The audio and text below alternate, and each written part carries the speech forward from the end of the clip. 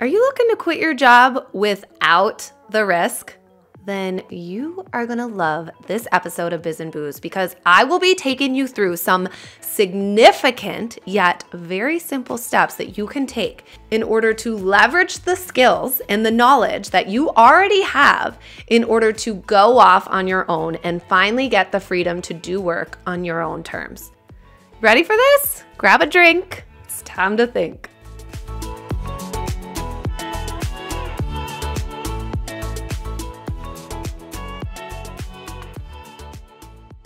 I'm Laura Markz, and this is Biz and Booze, a weekly happy hour to help women across the globe start and grow their dream businesses. So, if you're into that kind of thing, drinking while you're thinking, then I'd love for you to subscribe so that you can join our fun loving bunch of female entrepreneurs every single week at happy hour.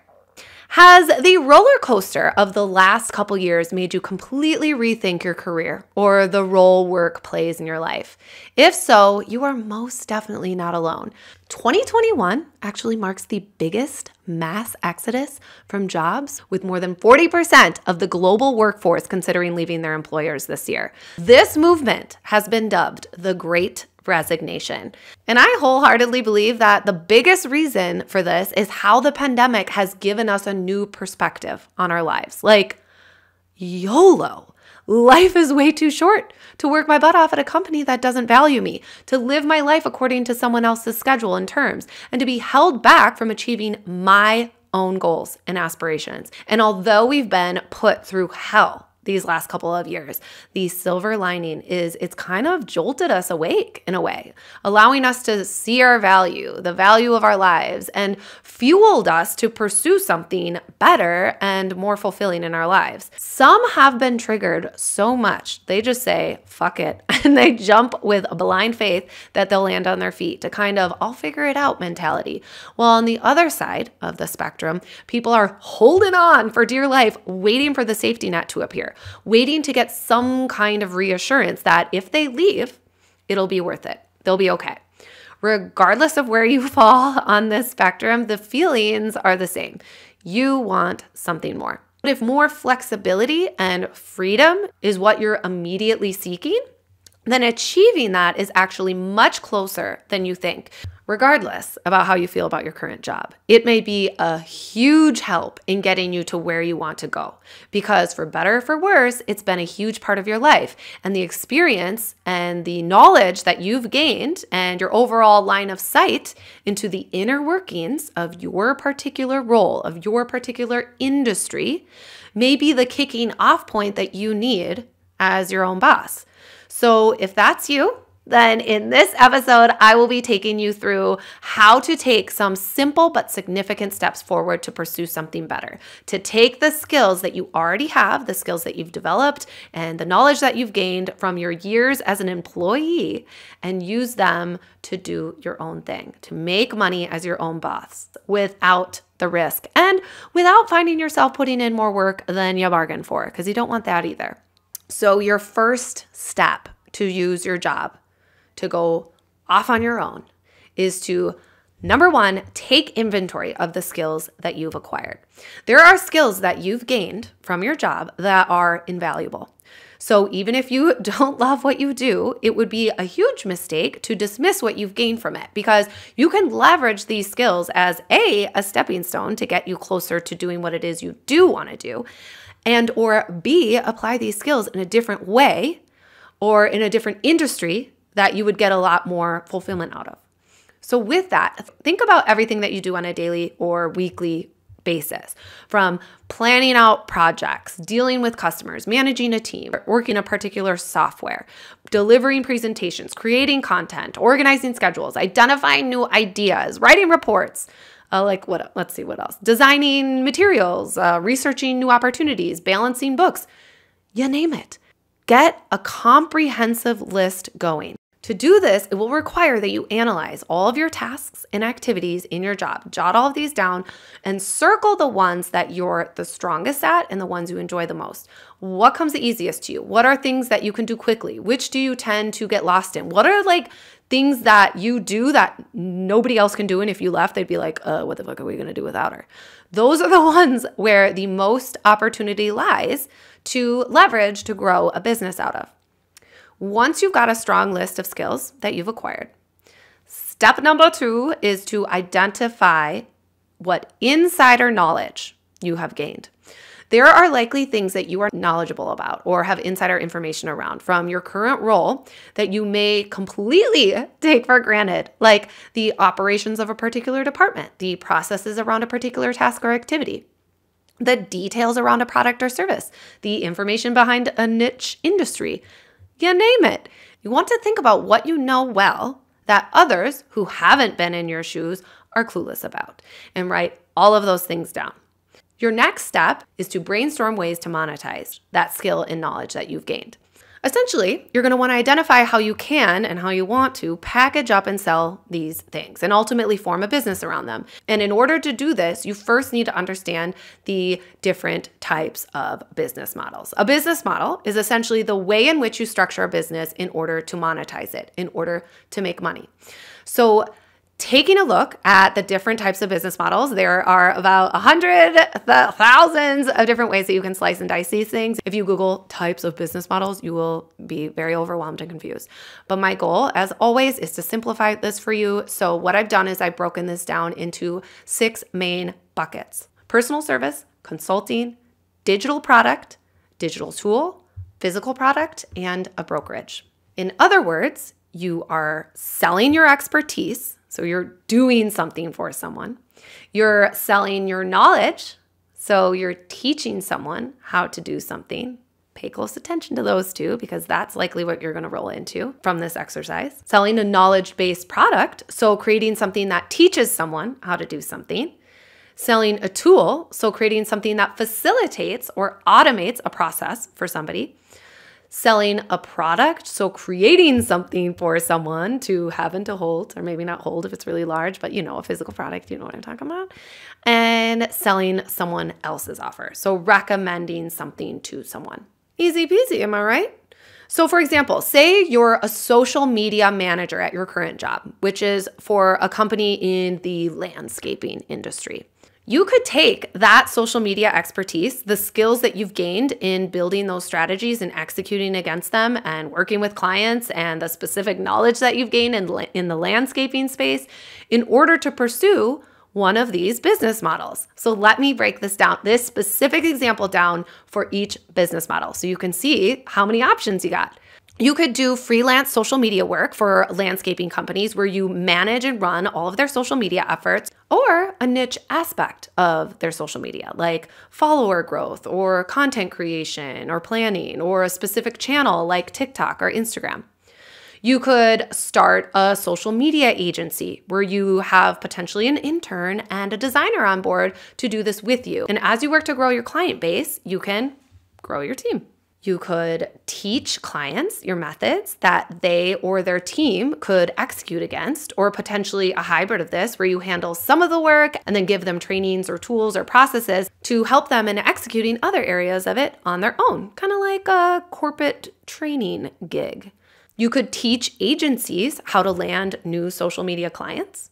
You could teach others who are interested in starting a career in social media what you've learned as you've climbed the ranks in your own career, giving them the skills that they need to land a job or to elevate their skills in order to quickly get promoted. You could run a virtual workshop for groups of people all together versus one on one, either clients you teach your methods to or those interested in pursuing social media as a career. You can create an online course that people take on their own in order to learn how to run their own social media or build a social media career. Or some kind of hybrid course and consulting offer where you deliver a course, but also offer group or one on one consulting to support them in achieving their particular goal and therefore making some more money on the side.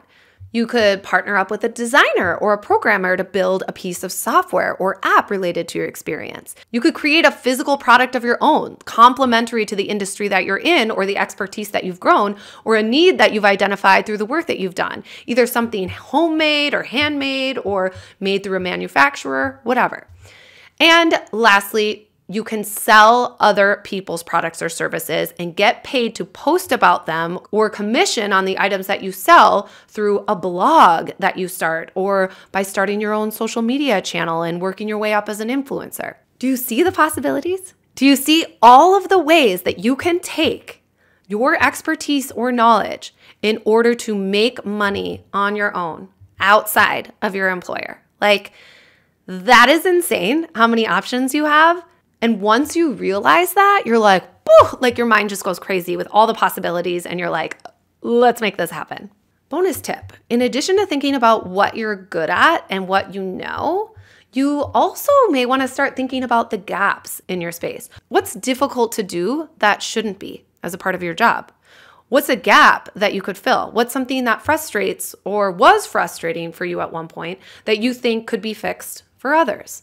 But how cool that you have all of these options. I wanted to rattle all of these off, not to like overwhelm you, but so that you realize there is no shortage of ways that you can make money on your own, regardless if you've never done it before especially in the virtual age that we are all in, that has been thrusted forward from the pandemic. So many things are done remotely that weren't done remotely before. And the proximity to clients and customers are often completely irrelevant in most cases. Opening up a whole group of clients and customers that are not around you, depending on what type of business model that you choose giving you way more opportunities to niche down and make sales. This can apply to so many types of professions or even a specific skill set or knowledge that you have as a part of your profession, like accounting, design, cooking, childcare, sleep training, nursing, sales, recruiting, health and wellness,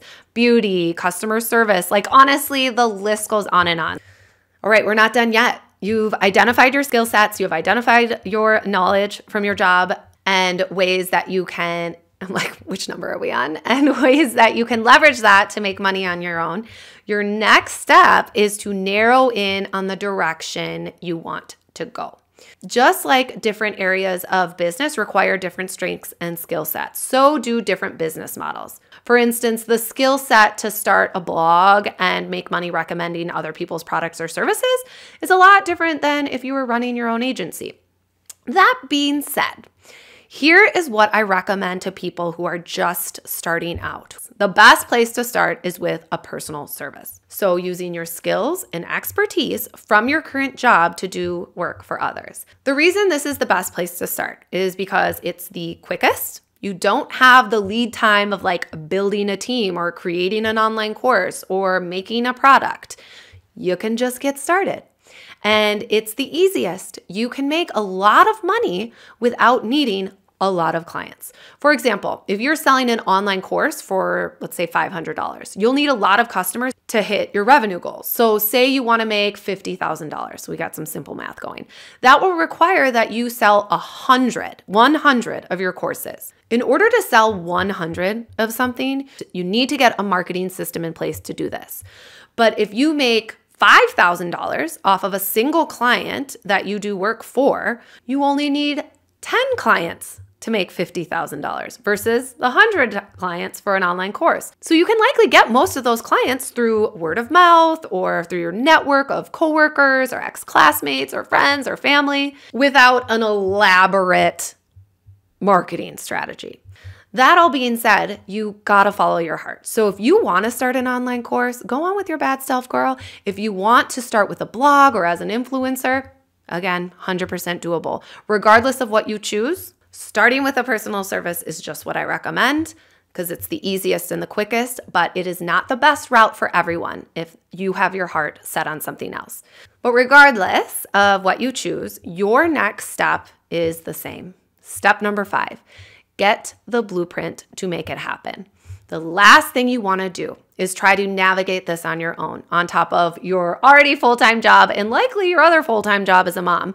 You'll end up wasting a lot of time and money trying to figure things out, doing things you don't need to do, doing things the hard way, and doing things the wrong way. You want the blueprint, the step by step roadmap to take what you know and love, or an idea you may already have coming out of this episode, and turn it into a profitable business of your own in just 90 days. Here's the thing Entrepreneurship as we know it and the approach the vast majority of people take to start a business is not set up for us to succeed. I've created a system that allows you to get to where you want to be in 90 days by just dedicating one hour a day, which is insane because the traditional way people approach starting a business is a full time job. And this is the system I teach in a brand new free training I made for you guys, which you can access for free at mybizfreetraining.com. With this system, starting your own thing is so simple. Not only that, it takes the risk out of making this leap. You'll not only walk away with the blueprint for your success coming out of this free training, you'll know the biggest mistakes that are likely to trip you up as an entrepreneur and what you should do instead in order to succeed. You'll gain access to the top ways that you can make money as a business, regardless of what kind of experience you're coming into this with. And you'll get the only marketing strategy that you need in order to build your business to six figures. No hustling your buns off or posting to social media every day. You can access all of this for free at mybizfreetraining.com. So I hope to see you inside the free training, and I hope to see you in next week's episode of Biz and Booze. Bye.